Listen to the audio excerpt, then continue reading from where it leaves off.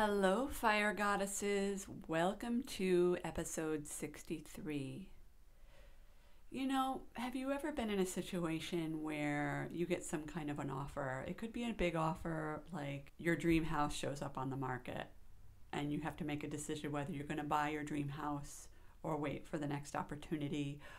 Or it could be something simple as one of your friends invites you to lunch chances are there's been a situation in your life where you've had to make a decision. And whatever your process is, for me personally, when I get offers anymore, I go within and I ask my higher self. I look to my intuition to make basically all of my decisions.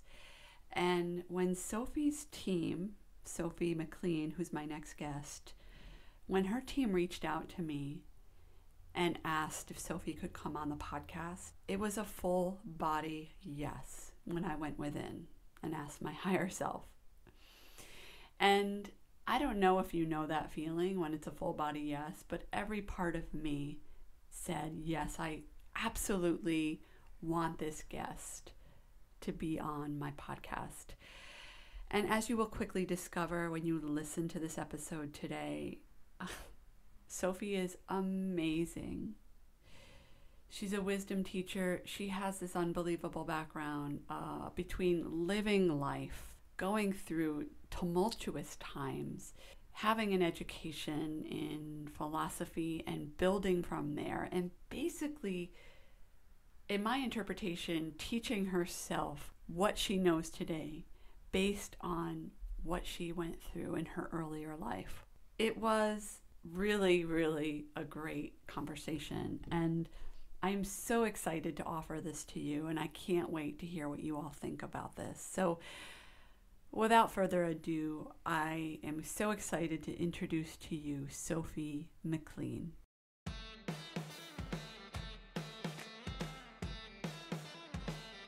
Hello, fire goddesses. Welcome to the Reclaim Your Fire podcast. My name is Angela Noelle and I'm a prosperity coach for the newly awakened or awake curious, driven overachiever, and overdoer. After running a successful acupuncture practice in Boston for 12 years, I decided to hang my hat by closing the practice and pursue what it is that I'm really meant to do in this world, and that is to serve humanity online on a global scale.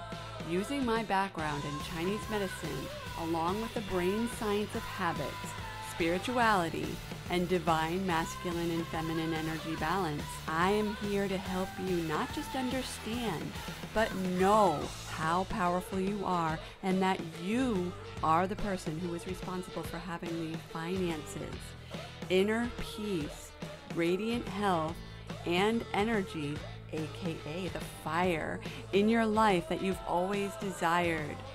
My intention with this podcast is to serve humanity, no matter what gender you identify as, to help bring out the divine feminine goddess in each and every one of you. As you probably are already aware, the world is changing and is begging for the goddess to come out in each and every one of you. So, fire goddesses, stay tuned.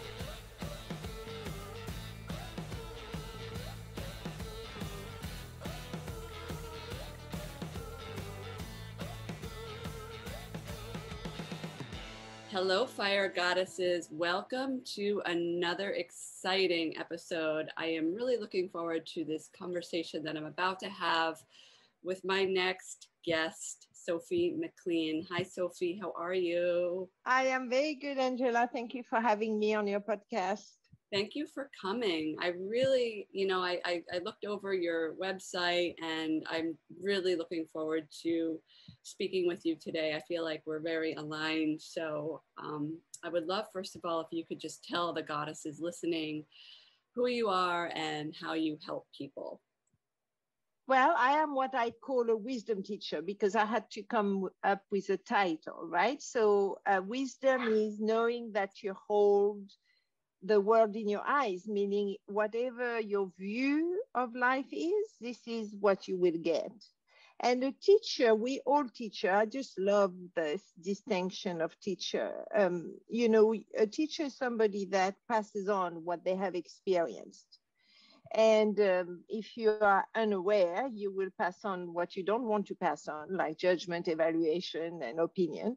But um, if you are aware, then you would choose what to teach. So I'm a wisdom teacher. I lead courses. I um, speak. I, um, yeah, and I write books, all on awareness. Oh wow. Okay. So first of all, I love I love your your title, wisdom teacher, and basically what you were saying or what I heard you say is that you know whatever you whatever you teach, whatever you're putting out there is what you're going to get back. Mm-hmm. And um, I mean, I feel like we could take this conversation in so many different areas. So I'm just curious specifically, how do you um, you mentioned courses and um, and and you take on one on one on one clients too, correct? Mm-hmm. Mm-hmm. Yeah. Yes. And I know what before we talked online, you mentioned that you were a, was it a philosopher, right? I was trained as a philosopher. That's my traditional training. Yeah, amazing. So I guess what I would love to know is um, maybe we could start with how did you get into this um, way of being, or um, how did you get into this role? that you're in? Well, I, I got uh, uh, directed into this role, right? So when I was 12 years old, I was brought up in Casablanca, Morocco. And uh, I'm French, but I had the opportunity to have my childhood there, which was heaven. And um, I was in the garden and I was in a moment of stillness. I was watching my family getting ready for dinner. And uh, and I had a, an epiphany. I can't I mean, a download. I, I don't even know what to call it, right? So I got three insights with, and um, it was all great, but it was not a reflection of the world. That mm. was the first insight, and that I had to go and find out that there was much, much, much more to the world than my little cocoon. The second insight was that everything I was going to discover on my search and my adventures was an illusion and I must not believe any of it. And then the third insight was that I had to make sure to go on that mission and tell people it's all an illusion. So I was 12. I ran to my parents. I was so excited. And I said, Okay, I understand everything. It's all an illusion. And we live in a cocoon and I have a mission. And they gave me my nickname, the crazy one, that stays with me to this day uh, with much love, but still I'm the crazy one. So that's how I started, uh, Angela. You know, then uh, from the age of 16 to 28, um, I had a lot of tragedy and a lot of circumstances that had me forget about it and reach the bottom of despair. And when I came out of the despair, I remembered it all and I went on my mission. So that is my story. well, thank you for sharing your story. And I, I, I, do hope that everything, the first insight got recorded because it froze a little on my end. But I think I have the idea of what you were saying. And, and basically, when you were very young, you got these downloads that mm-hmm. life is not what we make of it, right? And mm-hmm. life basically, right. or, or, or I should say, life is not necessarily what we're taught, but what we what we make and how we choose it to be. And I love what you said uh, actually about you're the crazy one in your family because one of my mentors says, you know, it's the crazy ones who change the world. And that's true, mm. right? You, you need to be yeah. a little bit, you know, out of the box cuckoo to be, to have that courage to say the things, do the things that are actually yeah. going to make change in the world. So I, I just wanted yeah. to uh, reflect that back. I love that. Uh, thank you. Yeah. Yeah, you need to be the kind of uh, person that will not accept the statu quo. Uh, what is a routine, even if that routine is extremely nice and comfortable. You see, I my experience of life is that you either expand or you contract but you never ever stay still. And mostly people are trying to hold on to what is and avoid change at all costs. Mm-hmm. That's the source of suffering. So mm-hmm. expansion is the uh, order of the day. Yeah, I love that. Yeah, attachment, right, is um, really attachment in the the fear of the unknown and fear of change can really cause problems in our suffering, can it? That's right. Because I think, um, you know, when we are incarnate on life, and very, very soon after our birth, we forget who we really are. Uh, and I've worked with over 80,000 people, right? And every single one of the people I worked with went through the same thing. We forget our divinity, we forget who we really are. So then, then that separation is so um, existentially insufferable for human beings that we look outside of ourselves to try to ground ourselves to to to identify with something because now we we do not know who we are anymore. So we grab onto anything money age looks uh, being married the title at your work uh, your nationality the color of your skin. I mean anything we can to try to give some stability to our life. Wow it's impossible. The universe the the earth the material world is in constant motion mm-hmm. everything is in motion in fact if if a table if you go back to the molecular level you will see the molecules are always in motion right and if the molecules stopped being in motion the table would actually disappear so we exist by function of change so if you want to stop change, then you're going against the law of the universe. That's the source of suffering. Mm-hmm. Yeah, and you know, I you oh, I love this conversation. Um, you said so many great things, and you know, in Chinese medicine, I'm a Chi- originally a Chinese medicine practitioner, and the foundation of, of Chinese medicine is the the movement of qi mm-hmm. in blood, and the mm-hmm. idea that when um, we're stagnant or blood is not flowing, blood is not going to the tissues, the life force, the chi is not flowing, we become sick, we get disease. And that's, I mean, I just feel like that principle goes, runs across the board in many different mm-hmm. philosophies that we as humans and, and the universe, in order to, since we're part of the universe, we need to be in flow in order to basically keep up, right? Yeah. And yeah. Um, I love that. And, and another thing, um, you know, you mentioned, I, I, love the fact that you're originally, um, your, your background is in philosophy. And I'm, I'm just curious if you have a, a philosophy on why we forget who we truly are. Do you have a sense for that?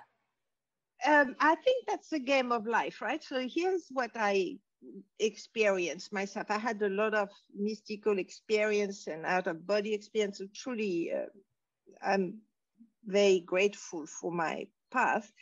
And here's what I came to, right? So the divine creates what I call the quantum world, which is a world of the soul, the spiritual, beyond time, beyond space, beyond language. Uh, you can't access it with your five senses, but this quantum world is easier to experience than the divine. But so there it is. Souls get created, right? Let's say the divine breathes out and creates souls, and I have no idea why. Okay, I, other than one of my masters said to me, it's much more fun to have dinner with another person than by oneself. So I thought, okay, okay. So you, so then the souls. Um, my experience of the souls is that they need to elevate back to the divine, right? So it's a, a circle. You go back to the divine, and the best, best, best school to elevate, heal, learn yourself is Earth. So uh, another one of my masters, I had a lot of masters, um, said to me, uh, only the very advanced souls come back to Earth because it's a hell of a school. And it is a very difficult school, right? So the game is you incarnate. Very soon after you incarnate, you forget who you really are. Then your entire life is about shedding all the story you're making up. And by the time you reach old age, you have let go of quite a lot. And most, for most people, just a few hours before they die, they have this incredible breakthrough. Say, oh, it was all an illusion. And then they die. all right. So if you're lucky, you realize that earlier. Or yeah. if you know, and uh, it's happening more and more in the world now, but people know there is this yearning right inside of them. So they, they're stepping into it more and more. Hence your podcast, for example, right? This is what you provide to people, this kind of uh, conversation. So um, I, my students are younger and younger and younger, and through my courses, they remember who they really are, and then they create a life of power, authentic power, guidance, intuition. So they have the five senses plus the spiritual. I think that's again to answer your question in a long way. Yeah, oh no, I love that answer. Um, thank you for that. And um, you know, I, I kept hearing um, the last flicker of a candle when you were talking about people, you know, getting ready to die, right? You hear these like, you know, people, they have these like, they sit up in their bed and they're smiling and vivacious and they're, you know, full yeah. of life yeah. before they. Yeah. Yeah, I, I, I actually experienced it with my husband. I lost my husband when I was 28, and um, five days after we got married and on honeymoon. It was very traumatic. But um, we got married and then we stopped at a saint that I liked and we prayed, both of us. And I gave the bouquet to that uh, saint. And my husband, who wasn't religious at all, neither was I, but we wanted to honor that saint, um, just stayed on his knee and prayed. And he got up and I said, Are you okay? And he said, um, oh, yes, that's it. I understand. Everything is perfect. And he died five days later. Oh my gosh, that is, I have chills. Mm-hmm. That is powerful. It is. Powerful. It is, yeah. And you were in your 20s still when this happened? 28. So at that time, you said you weren't religious. Now, were you already studying philosophy? Were you, did you consider yourself like awake or curious or like where were you at that time? I, I, was in a black hole. I didn't consider anything. I just dived. You see, the year before I lost a child, um, I couldn't have children anymore. I, I, I was in a dark place. Yeah, yeah. I remember you saying that. And then as a result of that, like what, you know, and how did I get out of it? Yeah, yeah, yeah. Because, you know, we, offline we talked about. You said that kind of stirred things up for you. So yeah. well, I spent. I I had to run his business. I had four stepchildren. So for about uh, four years, I survived in despair, literally like a sleepwalker. And then I remember to these days one of those moments of truth. You know, I, I believe that was soul called to us or something. And I remember I looked in the mirror in my bedroom and I said, All right, you are either going to go find a way back to life or you kill yourself. But being a vegetable is not going to do it. And killing myself is never, ever an option for me. And I hope for uh, not your listener. So I had to find a way to go back to life. So what I did is I, I, I sold my business, packed my bag, gave my house away, and went with a backpack around the world. And a year later, I had what I needed. And what did you need? Where did you go? I I realized I, I went all over the world. I went to uh, went down whitewater rafting, the Grand Canyon. I went to Tahiti for two months. I went to New Zealand. Uh, across the South Pacific on a sailboat. I got shipwrecked on Easter Island. I went to Chile and Argentina and I landed up in LA. And, and I was surrendering to the universe. Wherever life took me, I went. I, I gave up all willpower, all wants. I was just giving myself over to the universe. And then I met someone in Los Angeles, and that person altered my life forever. And he said to me, What do you make it mean, all those tragedy that happened to you for the last 10 years? And I said, I make it mean I'm doomed, obviously.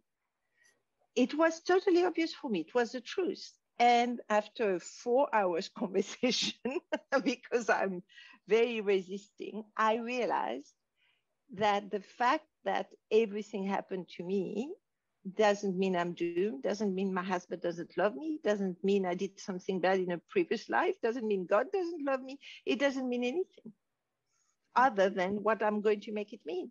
And at that moment, I stood on my chair and raised my arm. I mean, it was literally an epiphany for me, a second one. And I, I, I got free, totally free. I said, I'm going to make my life mean whatever I want to make it mean. And nobody, nobody ever told me I was doomed.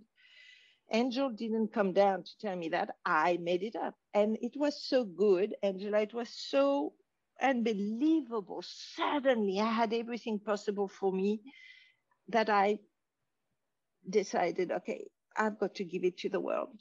So I never stopped. I was 33, I'm now 60, and I never stopped teaching ever since. Wow. And you've been in teaching in um, spirituality, divinity, quantum field all well all my ex- yeah my expertise is to give people access to liberation right? And how i do that is through the disentanglement of the unconscious ego. So when you forget who you really are you build up a whole persona a, a play really. You make up a movie about yourself about other people about life and that is what we call the ego. People have a very strange idea about the ego. They think it's being arrogant or a jerk, but not at all. The ego is everything you identify with other than who you really are.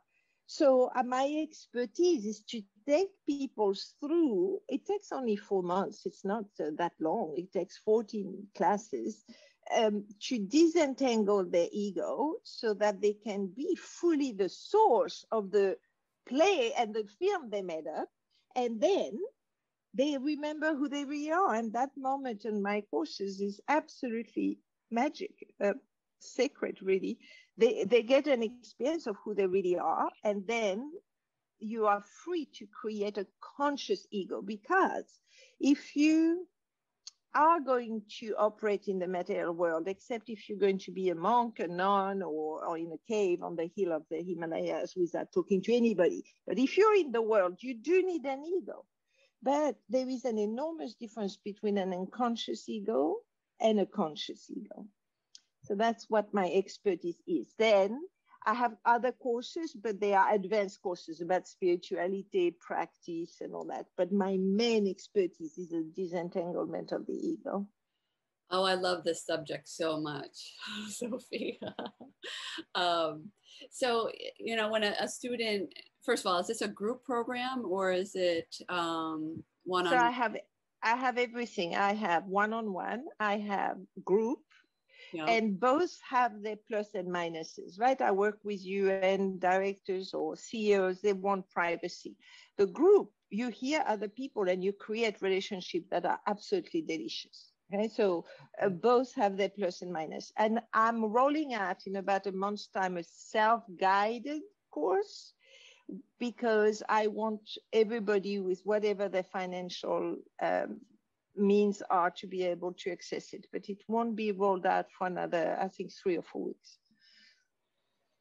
So um, I'm just curious, and for those that are curious listening in the audience, the goddess is listening. So when you know you mentioned the disentanglement of the ego and um, creating a, a, a, a new, a new, what did you call it? A new ego a conscious ego. A conscious ego thank you.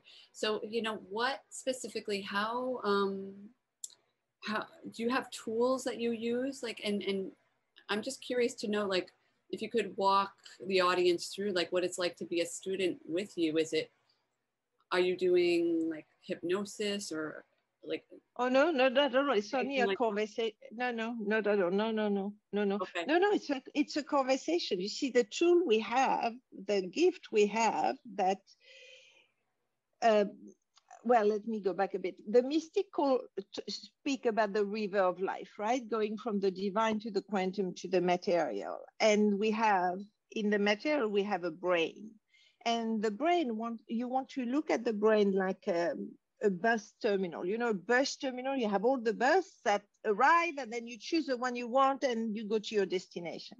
So the, the brain is the bus terminal of this river of life. And the way you get the intention from the divine and the quantum world is through language.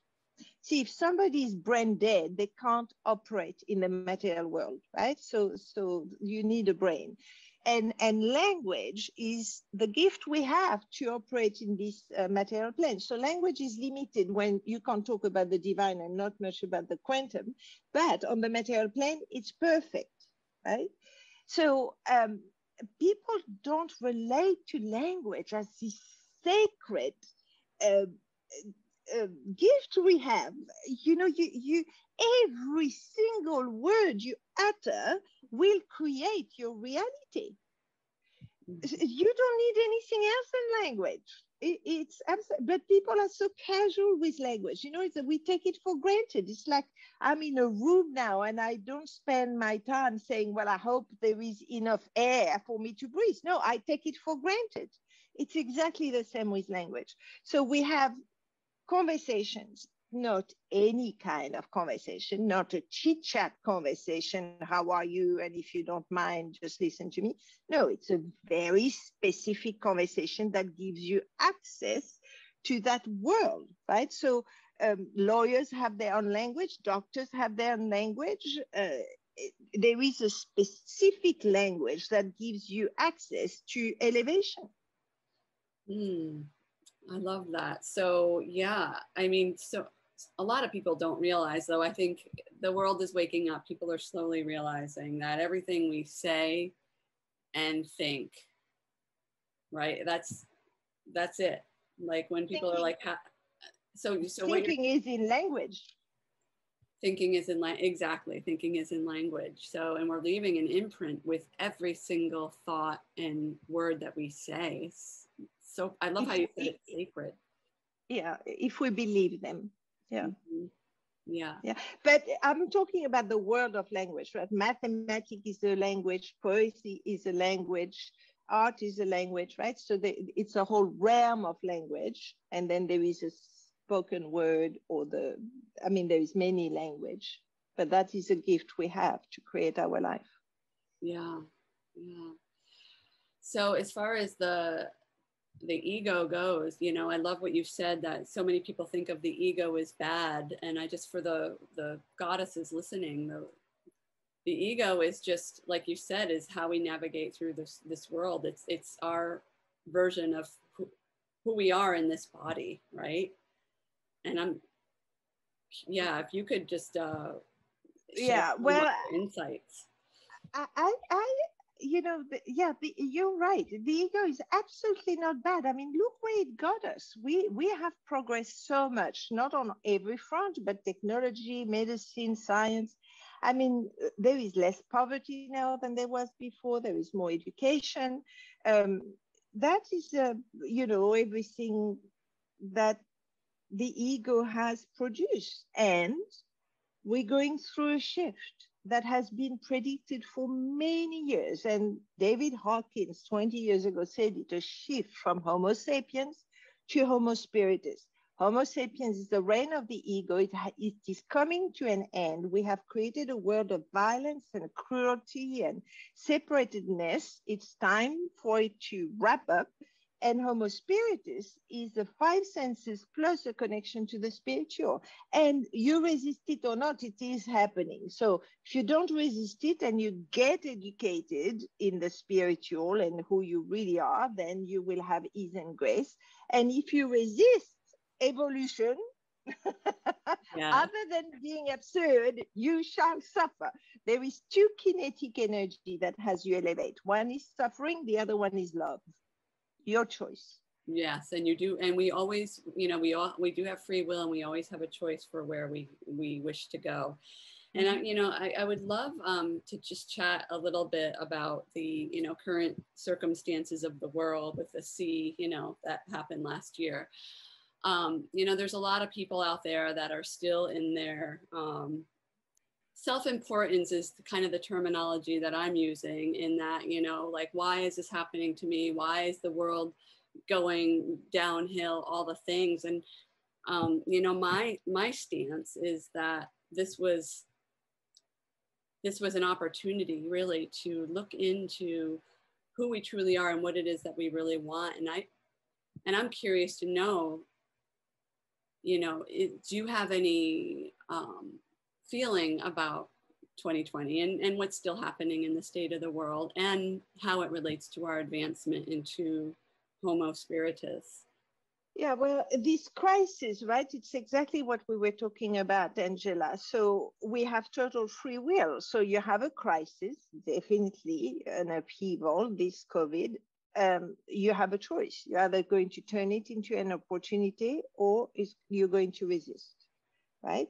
So that's what we were saying about it. So now there is, uh, I obviously choose uh, to learn from it as I consider life as a school of elevation. I am learning.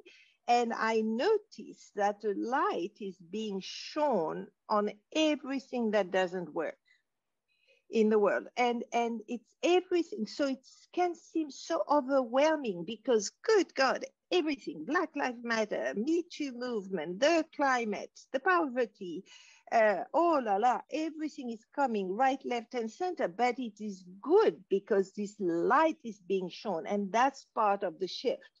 You know, no woman giving birth will tell you it's a walk in the park. If it, it's painful to give birth, where we're giving birth to new culture for humankind, is going to be painful. So that's how I relate to it. Now, it doesn't mean I tolerate unworkability or I'm a doormat.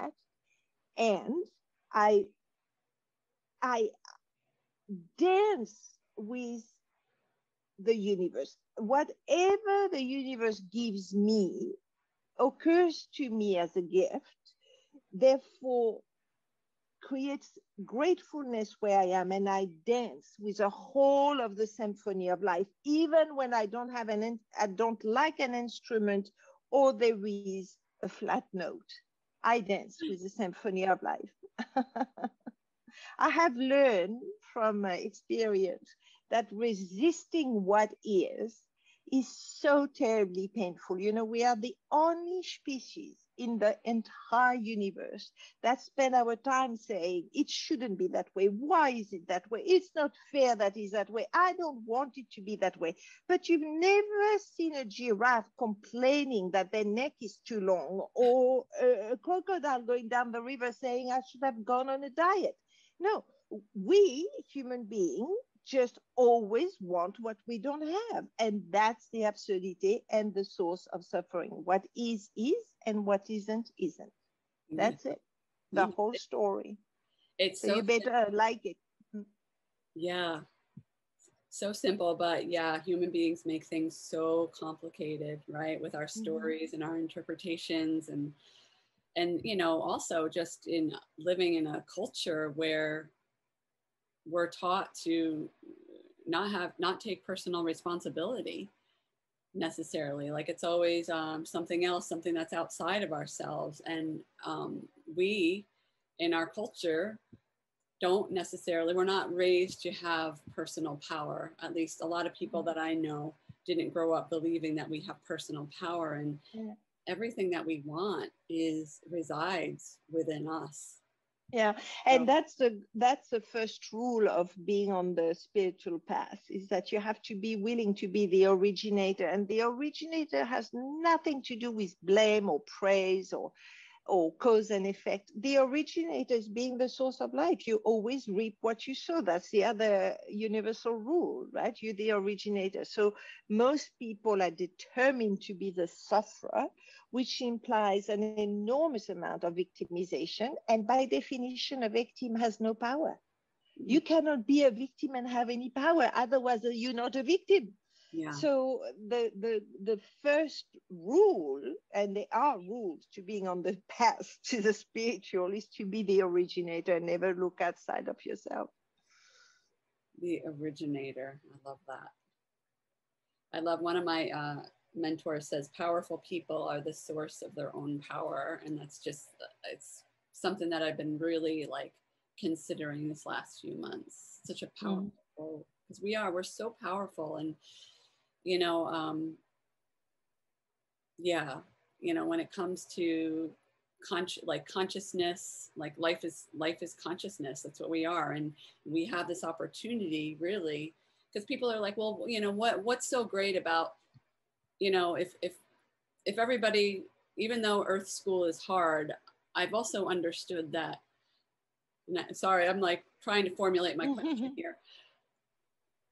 It's my understanding that Earth School is, even though it's hard, it's very, a lot of people want to come here right? Like it's souls want to arrive here because is it is it true that it's it's where really we learn all of our lessons before we we advance into en, enlightenment? Do i have that yeah. I, I, I, can't I can't quite answer that question. I don't know if there is other schools. I don't know if um, uh, this is the best school, and I don't even know if many souls wants to come back. I don't. I, I literally don't know that. I haven't had that experience or yeah. that answers. Yeah. Yeah but I definitely remember choosing to come here. That that I have a, a, distinct memory of it. You remember coming here? Yeah, and choosing to come, being asked to come and choosing to come. Before your human existence. Uh huh. Are you? Would you be? Are you willing to share that? Like what the what that was like? Oh, I, I, there is not much to share. That's all I remember. I remember being somewhere, or I don't know if it was being, but uh, asked to come, saying yes, coming down. It, it, it was an experience. I, I say it coming down. I don't know if it was down on up, but that was uh, how I phrase it. Yeah. And having already some uh, feelings, uh, no emotions, uh, uh, on on my way to incarnate in the in my body. Emotions. Wow. That's powerful. I mean, I know that um, I have I have friends who have kids who said that they felt their spirit babies before, you know, and then they knew that they needed to, you know, move forward, right? Because their their spirit, their their there was a soul or a being waiting to incarnate through them. That's so cool, so fascinating. So um, I'm, I'm just curious to know, you know, if somebody's listening, because I have listeners all, all across the board, and this is obviously one of my favorite types of things to talk about. But I tend to, um, you know, kind of take my subject matters from a really basic standpoint for people who are just not they're not there yet or they're i mean obviously they're listening because or obviously they're interested because they're listening so for those that are listening and they're like i know i'm interested because i'm still listening but uh, how do i start? How do i begin? I know mm. the way i'm living is not working for me. What advice yeah. would you give them? Uh, well the first thing is an acknowledgement. The the moment you tell the truth about either your life not working or the moment you have an intention to start the path to the spiritual, to liberate yourself, you're 50% of the way there. You literally, by that intention, you have already uh, progressed 50%. Right. So that's the first step. Just make up your mind. I think that's what we say in English, right? Just choose.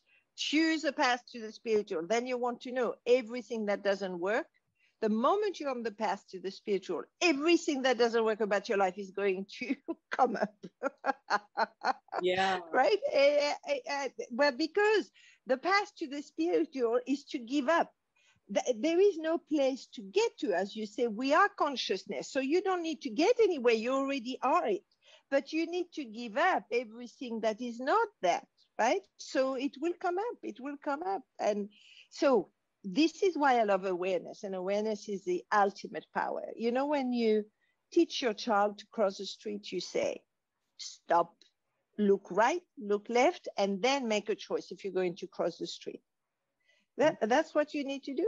That's it. That's it. If you're committed to be on the spiritual path and you promise yourself that whatever will come up, you will give up, that is not you. You just keep you know, peeling the onion, then practice awareness, just even a few moments during the day. Stop, look right, look left, and then make a choice. That's all that is needed to start.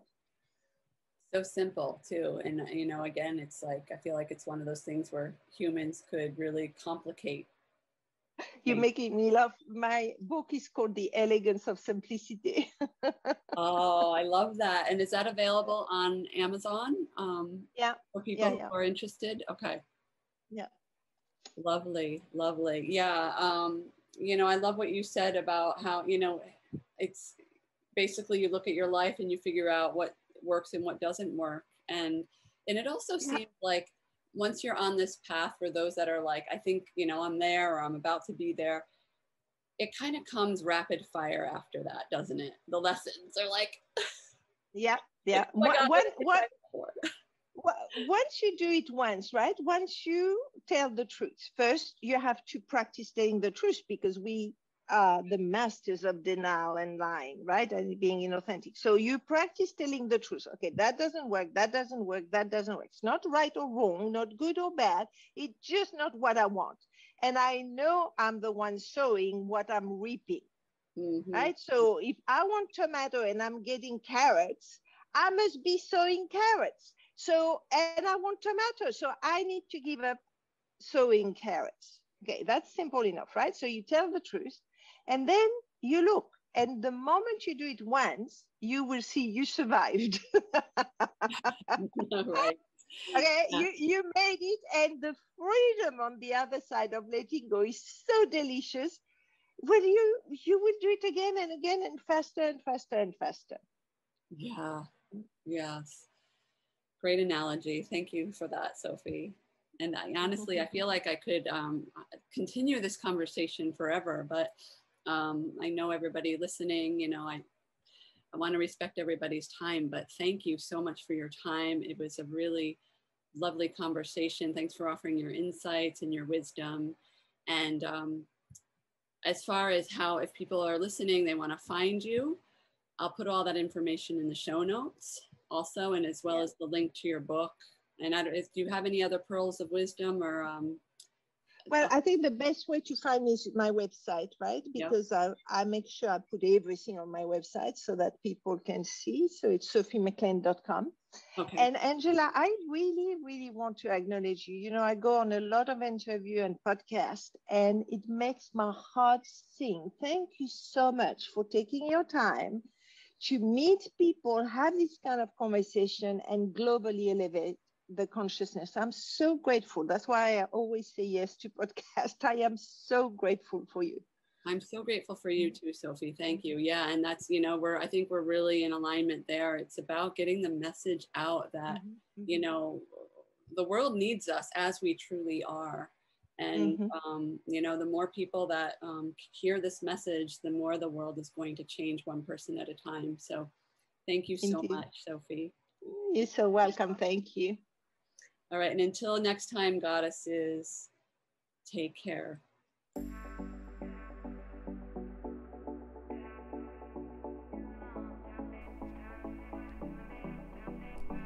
Thank you so much for listening to the Reclaim Your Fire podcast.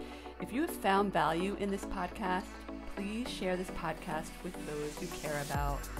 As you probably already know, in order for the world to change, we need to change. So spread the word by sharing this podcast or by leaving a review in iTunes. Until next time, Fire Goddess, be radiant, be fiery, and be powerfully authentic. Take care.